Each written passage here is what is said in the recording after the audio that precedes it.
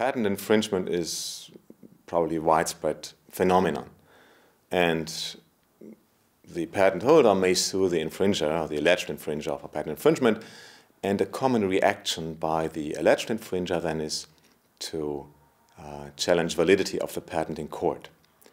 To give an example, many smartphones used to have this feature of slide to unlock so that you could unlock the screen by sliding over it with the finger and the picture would move with the finger.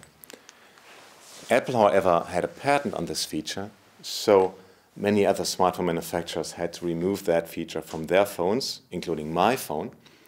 But then later, courts invalidated Apple's patents in Germany, but also in other countries, because they found so called prior art. That means an earlier invention, in that case, a Swedish handset, had a very similar feature. But nonetheless, the user experience of many millions of smartphone owners had been changed. And in some cases, such situations when a feature has to be removed can really mean a financial uh, burden on the alleged infringer, which in the end is not an infringer at all. Relatively speaking, uh, the share of invalidated patents is very high in Germany, but also in other countries.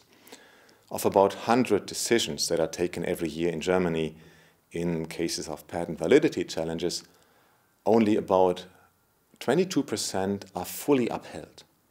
45% are fully invalidated, and another 33 are partially invalidated. That is um, bad news for the patent holders, obviously, because they could not rely on their patent. But it's also very bad news for all the other firms which are unduly restricted by patents that should not have been granted in the first place, so that have been incorrectly granted because the courts, after a more careful examination, find no, there was prior art or some other reason why it shouldn't have been granted. Now, the question, of course, is how big is that problem in general? Because the number of court cases is small. We have about 600,000 active patents in Germany.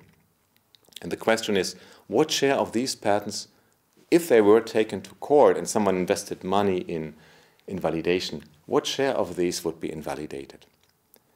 That is a non obvious question. It's actually a very difficult question to answer because there are opposing selection effects.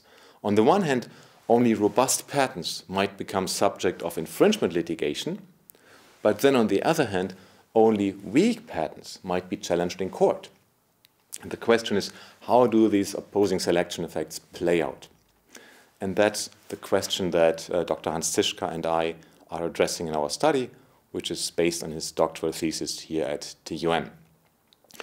We used three approaches to study that question. So we did interviews with patent attorneys and experts, including lawyers and, and judges, um, to understand how these selection effects work.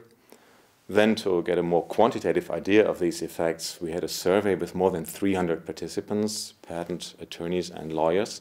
And finally, did an econometric analysis of about 300 court decisions, where we analyzed the determinants of invalidation and then used another set of patents to make a prediction, so called out of sample.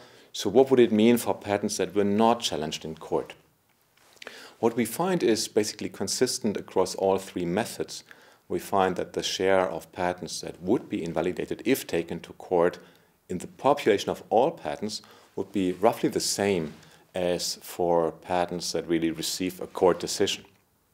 So, roughly one quarter or less would be fully upheld, 40 45% would be fully invalidated, and the remainder partially invalidated.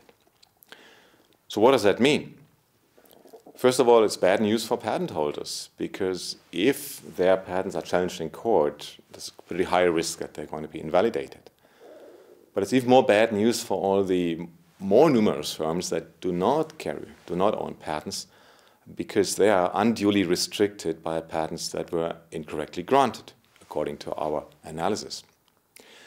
Second, it means that patent examiners should be granted more time rather than less in examining patent and doing search for prior art. So, in particular, the push at the European Patent Office for uh, higher efficiency in patent examination appears very questionable in that regard. Third, I should mention that it is not a German specific problem. We have indications that similar results would be obtained in other countries. And finally, the question is what could be done? What we suggest is to increase the required inventive step for patent grant significantly, such that the number of granted patents is reduced dramatically to maybe only maybe one third of what we have today, but at the same time make it harder to invalidate patents once they are granted. And this way, the patent system would get back certainty that is very much needed to promote innovation.